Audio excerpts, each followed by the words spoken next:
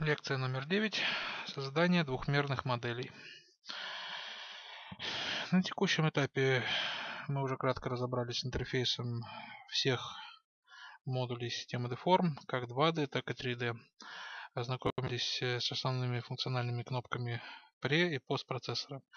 Теперь можно переходить непосредственно к разбору методики создания моделей.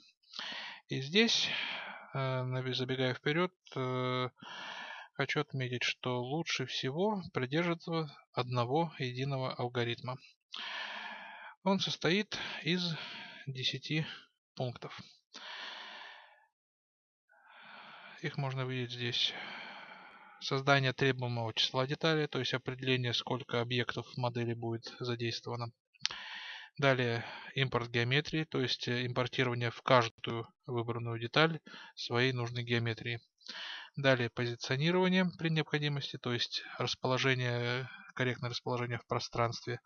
В частности, это будет необходимо при создании объемной геометрии, поскольку при создании в компасе все находится на нулевой оси z, в координатах э, z в точке 0.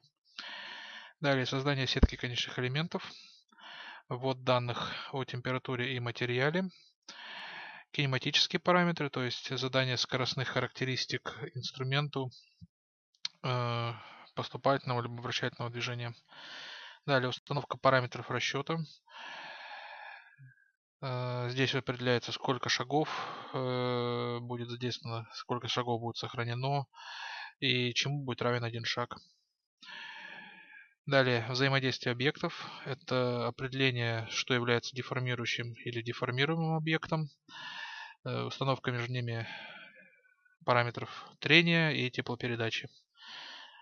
Далее определение ограниченных условий, то есть э, дополнительные условия, нужно ли устанавливать где-то теплообмен с окружающей средой, дополнительные тепловые потоки, усилия, скорости, приложенные в определенные зоны заготовки и так далее. И в конце, собственно, генерация готовой баз данных, которая уже будет подвергаться расчету. Таким образом, согласно данному алгоритму, создается двухмерная модель. Будем рассматривать э, ту модель, которую мы строили в системе Compass, те самые файлы геометрии. Там, насколько я помню, мы делали э, без оси симметрии модель осадки. Первая у нас идет создание требуемого числа деталей. Делается это вот этими двумя кнопками. То есть Добавить объект, удалить объект. По умолчанию дается всегда один объект. Нам нужно еще два. Создаем их. Вот workpiece это у нас будет заготовка. Top да это будет верхний боек. Bottom да это будет нижний боек. Следующее у нас идет импорт геометрии. Необходимо в каждый объект импортировать свою геометрию. Переходим в вкладку геометрию, нажимаем кнопку импорт гео. И ищем нашу папку вот они наши файлы EGS. Так, у нас активно жирным цветом, как видите, подчеркнуто, значит, это выделен данный объект workpiece. Ему присваиваем геометрию заготовки. Вот она. Так. Далее выделяем, чтобы жирным цветом стал верхний боек. Это будет VB. И также импортируем нижний боек NB. Вот все импортировали. Однако, как мы видим, мы не наблюдаем геометрии заготовки. Хотя вроде бы все импортировалось. Как мы видим, какая-то геометрия есть. Это, скажем так, единственное, может быть, затруднение будет в том случае, когда вы импортируете заготовку в виде окружности. Дело в том, что она импортирована, но программа не знает, какой разворот программе нужно сделать. Для этого заходим в нашу геометрию и заходим в правку. Мы здесь видим, что Тип геометрии может быть либо линия, либо дуга. У нас выбрана дуга, арк. Но угол у нас равен 0.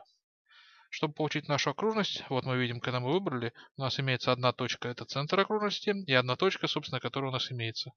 Нам нужно, чтобы она описала полную окружность, то есть угол 360 градусов. Ставим и получаем нашу окружность. Все. Это единственный вариант, когда вам придется, скажем так, править геометрию, только когда вы имеете окружность. Овал или какой-то э, криволинейная прямая, все будет э, импортироваться нормально. Только в виде сплошной окружности будет такая погрешность. Далее. Для двухмерной геометрии необходимо обязательно проводить проверку геометрии. Каким образом это делать? Когда вы находитесь на вкладке геометрия, у вас э, ваша геометрия будет иметь небольшой такой серый оттенок, когда вы будете перещелкивать. Вот, вот. Необходимо, чтобы данный серый оттенок находился внутри геометрии, а не снаружи. Как мы видим, здесь он находится внутри, здесь внутри, здесь находится снаружи. Что это означает? Э, геометрия составляется из отрезков. У каждого отрезка есть начало и конец. Правильная геометрия определяется в том случае, когда у вас э, начало идет, допустим, вот для данного длинного отрезка здесь, конец здесь. То есть идет против часовой стрелки. Поэтому данная геометрия будет некорректно рассчитана. Для нее необходимо сделать проверку. Нажимаем «Проверить». И здесь имеется кнопка Check Incorrect. Нажимаем на нее. Появляется геометрия, была скорректирована сообщение. И как видите, серый фон стал внутри. Все. Если я щелкну, на, допустим, на эту геометрию и нажму проверить и также чек, выдаст сообщение, что геометрия в порядке. Сразу нажимаем дискетку, чтобы нам заново все это не делать. Геометрию импортировали. Переходим к следующему пункту. Позиционирование при необходимости. Ну, поскольку мы сразу спозиционировали все в компасе, нам здесь этого делать не нужно. Э, но нам понадобится обязательно позиционирование э, в объемной геометрии, поэтому данный пункт отложим на следующую лекцию. Создание сетки конечных элементов. Конечные элементы необходимо вписать э, в заданный объем. Для этого необходимо выбрать нашу вкладку «Сетка КЭ», Здесь устанавливаем количество элементов и нажимаем «Генерировать сетку».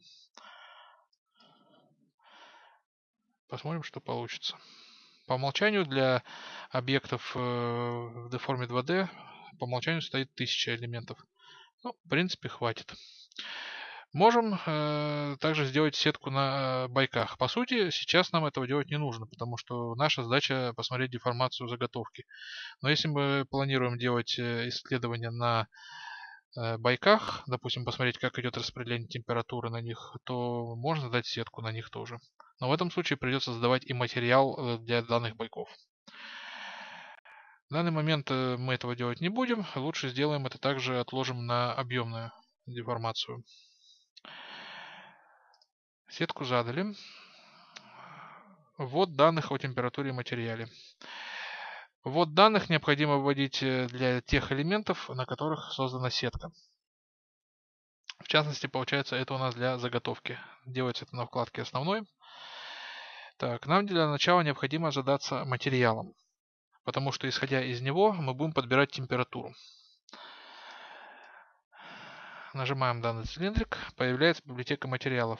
Нам необходимо выбрать категорию и, собственно, из нее выбрать нужный материал.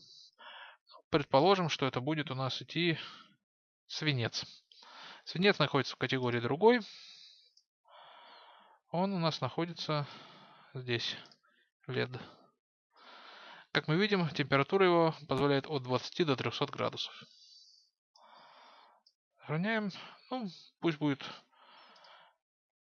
допустим, 45 градусов в теплом помещении.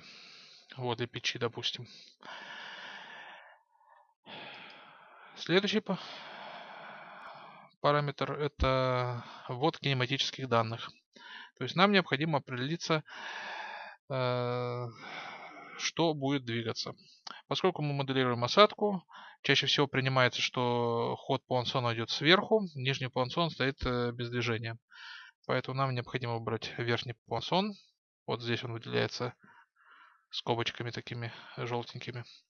Перейти во вкладку движения. И когда мы выбираем движение, нашей э, выбранному объекту, вот могу пощелкать, и выбранному объекту присваиваются оси движения.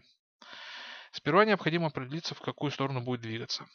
То есть выбрать направление. Ну, поскольку он будет двигаться вниз, нам нужно минус y, оно у нас задано.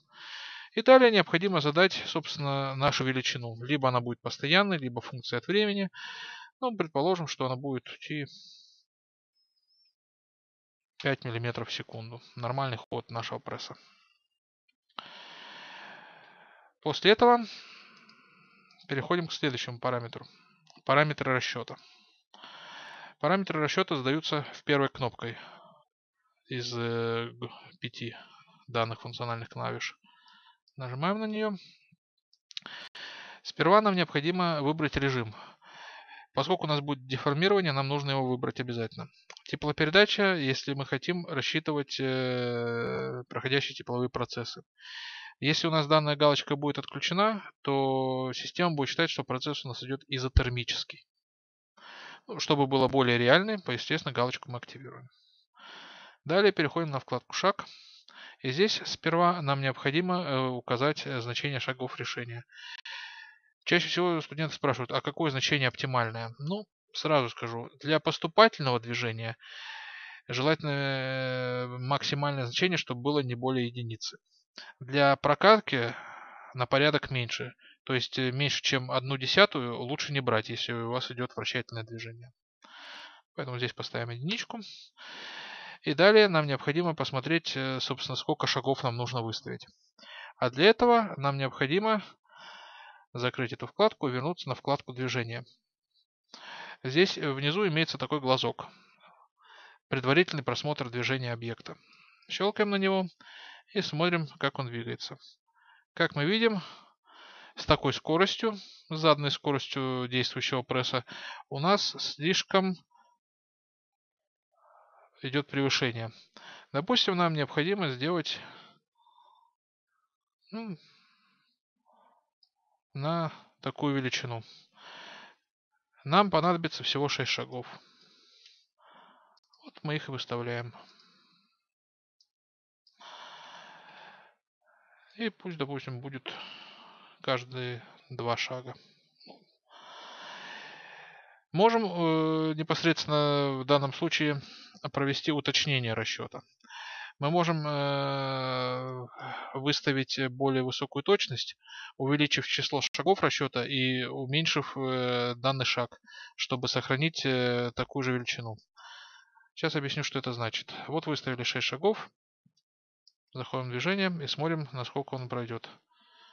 Вот он обжимает на такую величину.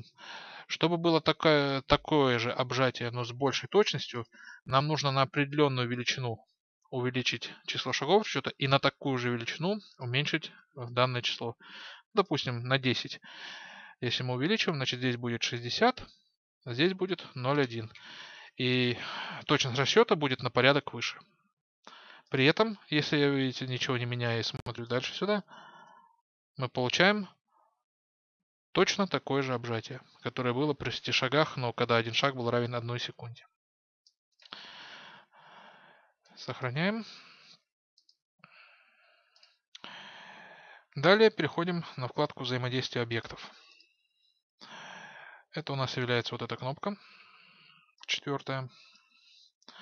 По умолчанию он сразу дает всегда вот такое окошко. Настоящий объект связи не обнаружено. Хотели, чтобы он выставил по умолчанию. Всегда нажимайте «Да». И в данный объект он выставляет следующие связи. Э, первую связь вам необходимо всегда удалить. Эта связь создается только в режиме 2D, и вам она не нужна. То есть якобы объект с объектом. Нам он не нужен. Вот выставлены правильные связи. Верхний боек с заготовкой, нижний боек с заготовкой. Главный объект у нас выделяется зеленым, тот, который деформирует. Подчиненный выделяется коричневатым таким цветом, который воспринимает деформацию. Здесь все правильно. Теперь необходимо, если продвинемся сюда вправо бегунок, указать два коэффициента. Трение и теплопередачи. Нажимаем кнопку «Изменить». Нам нужны первые две вкладки в данном окошке. Во вкладке деформирования мы устанавливаем, собственно, тип трения и величину трения. Я рекомендую всегда использовать тип трения по зибелю поскольку в данном случае данный тип трения позволяет э, моделировать э, интенсивную пластическую деформацию, когда величина контактных напряжений превышает, собственно, предел текучести. Кулона трения это по сути незначительная величина э, в пределах упругости состоящая и незначительно достигающая предела текучести. Нам же необходимо лучше считать по зипелю. Далее сюда вбивается коэффициент трения, который может быть как константой, так и функцией. Ну, допустим, он будет константой. Можете его рассчитывать по известным формулам из теории МД, либо можете взять какой-то готовый пресет. В данном случае нам предлагается несколько вариантов. Тут все зависит, э, собственно, от материала и также от э, частоты поверхности нашей заготовки и инструмента. Ну, допустим, будет 0,25. Переходим на вкладку температурная, и нам здесь необходимо выставить коэффициент теплообмена. По умолчанию также можно принять готовый пресет, либо просто свободное нахождение, допустим, нагрев или остывание, либо при деформировании, достаточно пятерки. Нажимаем закрыть, и данные коэффициенты появились здесь. Далее нужно сделать для второй пары, но есть один нюанс. Допустим, у нас будет связей не 2, а штук 20. Каждую связь переделывать достаточно проблематично. Но если у вас в большинстве связей э, находятся одни и те же значения, можно сделать следующее. Выбрать ту связь, где уже значения заданы, и нажать кнопку «Принять для остальных пар». Нажимаем на нее, и такие же значения попадают на все остальные. Теперь мы рассчитываем допуск к расчетам. Он определяется системой в зависимости от э, погрешности геометрии. И нажимаем «Сгенерировать все». И как мы видим, на системе появились точки контакта. То есть она понимает, что между данными объектами будет контакт, и с увеличением площади, когда у нас заготовка будет сплющиваться, данный контакт будет расти. Нажимаем ОК, дискетку. Ну и теперь, собственно, граничные условия. Какие граничные условия здесь можно задать? Ну, для начала выбрать нашу заготовку. Посмотрим. Заготовки какие-то скорости, давления, силы мы не будем задавать. Ну, можно задать, что у нас теплообмен с окружающей средой, но опять-таки это только по контуру. Что, в принципе, тоже не слишком обязательно, потому что у нас э, заготовка не будет слишком излучать э, температуру в окружающую среду, потому что она находится в холодном состоянии. Здесь можно пока ничего не задавать. Последнее нам остается создать базу данных. Для начала нажимаем кнопку «Проверить». Он проверит и выдаст сообщение. Может быть сгенерировано, либо не может. Если не может, то, соответственно, в нужном э, окошке он будет показано, что нужно переделать. Если может, нажимаем кнопку «Сгенерировать» и смотрим Done Writing Database. Все. После этого из препроцессора можно выйти. И, собственно, здесь появится новый файл db, нажимаем его на расчет. И вот пошел наш расчет. Ну, сейчас он должен достаточно быстро это прогнать. И мы сразу сможем предварительно посмотреть, получилось или нет наше моделирование.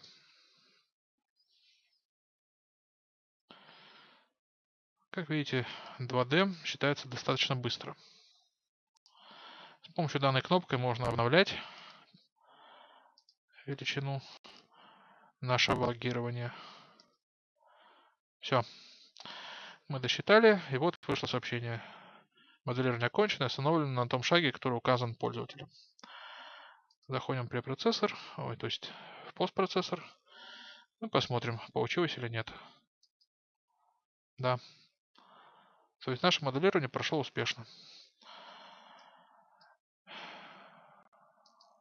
На этом все.